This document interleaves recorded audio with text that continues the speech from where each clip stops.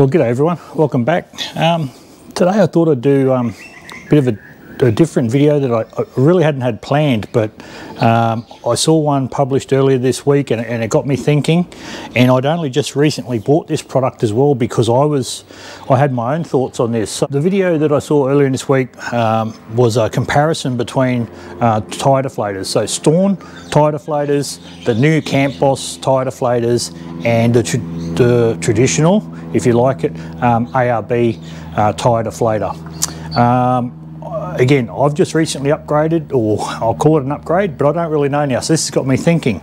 And it was about what's quicker and what's not. Now, the video that I watched, the review that I watched, I don't think was a fair comparison because it was basically just about letting the, the air out, what released air quickest. Obviously, when you remove a valve stem, the air is going to be released much quicker than, than leaving the valve stem in. There's no, no two questions about that. But it's the process and ease of airing down that I wanted to cover, which has been starting to, to bug me a little bit. Um, with the ARB um, tire deflator, which I'll show you, um, I get sore legs, sore knees, and, and really a, a, bit of discomfort whilst I do that process. Whereas um, I've, I've, just purchased a new Camp Boss tire deflators. I'll explain to you why I went them. I used to have Stauns years ago, and, and I'll tell you why I don't use, haven't used those for years. Um, but yeah, so we're going to time the exercise of from start to finish for four tyres. Um, again, this is a comparison. This is not a, a how to deflate tyres or what PSI you should be running. This is simply a comparison around the total time taken to air down um, and some of the advantages and disadvantages for, for each, each item. So hope you find this in, uh, entertaining maybe or uh, informative is probably the word I was looking for. So anyway, grab something cold to drink and uh, watch me uh, work up a sweat here.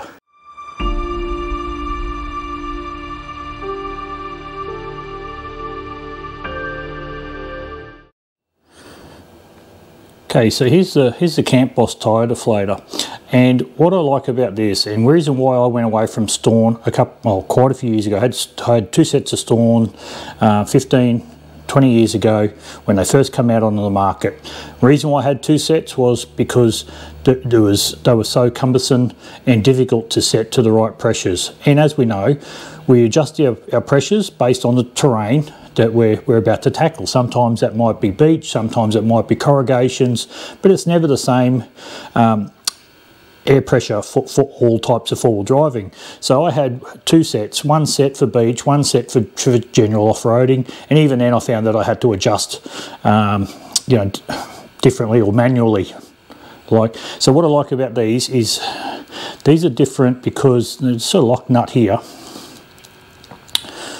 that just comes off and I'll just show you.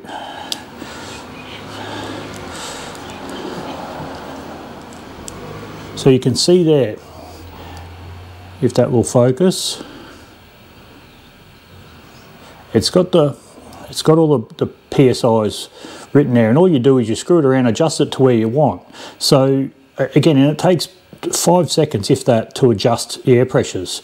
So you, you can adjust from 5 psi up to I think it's about 30 35 psi on this particular unit. Screw the lock nut back on and you're good to go. So for the purpose of this exercise I'm going to set them all to 20 psi uh, I think that's I've just picked 20 because that's just a general um, ballpark. What's been giving me grief with the um, ARB Easy Deflator, as I, as I mentioned, has been having to constantly bend over um, or squat during the whole air down process. Um, again, I've never timed it, so I don't know how long that is. All I know is that for each tyre, by the time I've finished deflating, my knees are sore and aching and, and it's, it's really discomforting. So that's why I've just bought these. I haven't even used these yet. This is the first time and, and I'm only doing this video because I watched um, a review um, two days ago and I really thought it wasn't a fair comparison. What it doesn't factor in is the actual time to attach the Easy Deflator to remove the valve stem, put the valve stem back in, and then to remove the um, remove the easy deflator. Okay, so what we'll do now is um, we'll do the Camp Boss first. First, I'll walk around. I'll put all of them on, and then um, I'll just leave the camera set up on one so you can sort of see the process. But again, this is not a how-to video. This is just me comparing some, some times, really for, for my own benefit, um, realistically. Um, so we'll cover that off anyway. We'll put these on and get stuck in. Okay, so just started the stopwatch now. Um, I have removed the valves, um, the caps off all tyres, and I'll do that for both tests. Um, I just look, didn't think it's necessary. That's the second one on. Hopefully you can hear it so you know uh, that I'm not sort of fudging anything here. There's the third one. Third one's on now.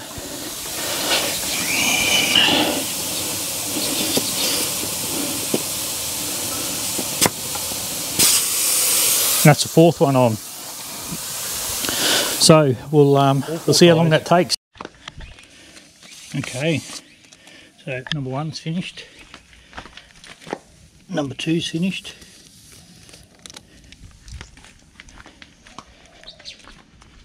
So they're all finished now. Three. Four. Let's go over and stop the stopwatch. Bear with me here. And stop. 343. So, 343 um, from basically 35 to 38 down to 20. All four tyres. Um, yeah, interesting. So what we'll do is I'll air back up to the same PSI. and Then we'll run the easy deflator through the same exercise. Then um, we'll have a bit of a chat about uh, the outcome. Hey guys, I'll tell you what, I'm, I'm impressed. I just thought I'd just run the gauge around just to check for accuracy. So again, for transparency and just peace of mind, but you saw how I adjusted and how you set those Camp Boss and how easy they are. Look at this gauge.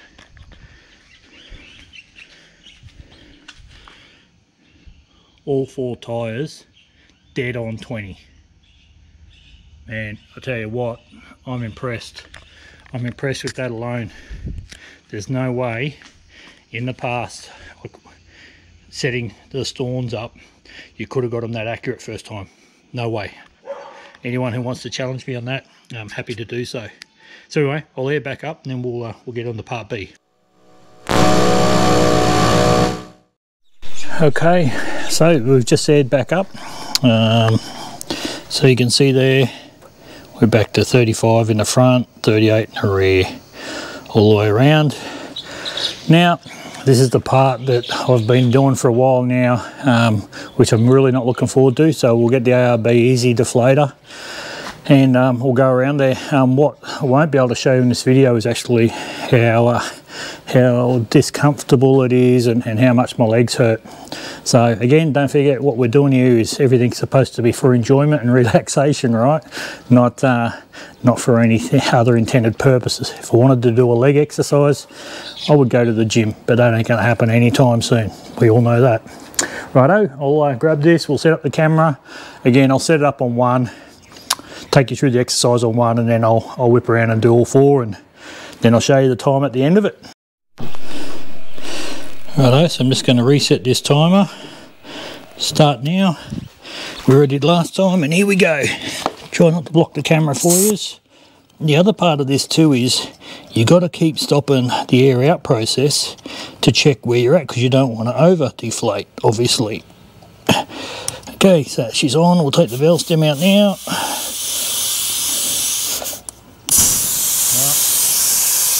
We're underway. And what you'll find is that this gauge is never accurate to where you actually are. So if you could just follow this and stop when it got to 20, that'd be great. But what you'll find is that's not necessarily the case all the time. It'll jump around and change all the time. So as you can see there, we're at 21, 21, bang on 20, that's one done. Righto. Screw the valve stem back in. Hey, listen, the other thing also is that they reckon that um, you can damage your valve stems as well doing this all the time. Um, I, and to be honest, I haven't had it happen on the vehicle, just making a second one on now, um, but I have had it happen to my camper trailer.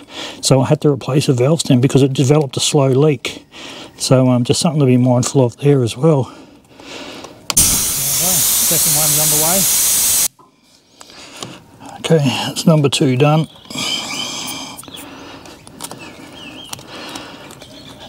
Again, my knees are hurting. And it takes me as each one goes through my leg takes longer and longer to get up and down. Okay and we're stopped there. At 421 I'll tell you what. Yep yeah some people might say I don't know what was 30 seconds? I haven't done the maths yet right? 25 35 whatever it is half a minute. I don't know if you can see the sweat on me but that is a much more painful experience than just simply putting those camp boss on and they're quick. So that and that was with one person putting all four on. Um, what I'll do is I'm gonna I'm not even gonna do it look you, you do the maths we don't need to do it we know that it's already quicker if your partner gets out or your kids get out and they put two on each you, are going to be quicker again. You're not going to be half. The, you're not going to be half the time. I still reckon you probably take from time you put the first one on to time you put the last one on. I reckon you'll save approximately 30 seconds. So, if you take that logic, roughly 315 versus what this one I said was. Uh, 421. So I'm, I'm, I'm saying a minute. Yep, so um, in summary, so you're going to save a minute, roughly, thereabouts. Um, it's easier, uh, more enjoyable. So, you know, you can utilise that time better. You know, we pull over the side of the road when you go from bitumen to gravel, chuck them on. You know, typically you're going to walk around, you're going to want to um, check your check your load, make sure your vehicle, there's nothing's come loose, make sure your straps are still tight, you can get a drink out of the fridge. Um, you know, so again, I, see nothing but positives by utilising the Camp Boss compared to um, an ARB um, easy deflator. That's my personal opinion. That is now my preference. That is now what I will do um, going forward. Again, you know, um, I've mentioned that they're easy enough to adjust. And look, if I'm going to go to the beach next week, uh, you know, when I've got a spare couple of minutes, I'll grab the deflators, I'll adjust them down to 15, 12, whatever I want to run them at, and then on the day they're ready to go. You, you, typically, you know where you're going to go beforehand anyway. So, you know, I, I don't see that as a negative at all. Um, but yeah, you know, look, these are just my opinions. I hope that's been uh, helpful for you. Um, again, I just, uh, I'm glad that um, my logic um, you know followed up through this test um, you know came through to be true and again just hope that you know other people sort of you know got some benefit out of that as opposed to again like I said I can only reference the, the video I saw during the week which um, which wasn't a fair comparison guys. Look you know I, have done it the way I thought it would be best. If you if you don't agree with my logic uh, if you want to challenge uh, my idea there as to what the, the outcome was, um, feel free to drop me a comment below. Um, but again, as always, um, just want to keep pushing out um, content that's relevant to everyone. Um, new in the industry, even if you've been around for a while, um, as new products come out and ideas change. so again, I'd appreciate it if you could subscribe, hit the notifications so you can see new content as it comes down like I said, I'm going to try and release one to two videos every week, and hopefully, um, you know, I'll, I'll, make content that's that's relevant and everyone's getting some value out of. So, until next week, thanks very much. Cheers. Bye.